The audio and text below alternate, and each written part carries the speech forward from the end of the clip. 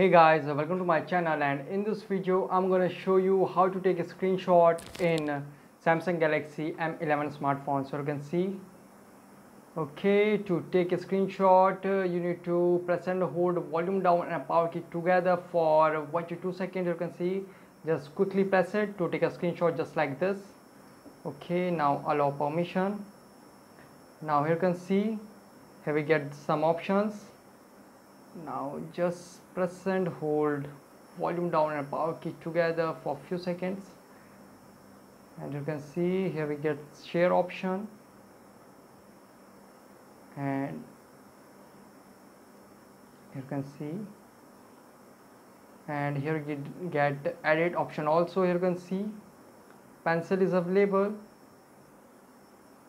And here we get uh, the color option and we get the pencil layer option? Okay.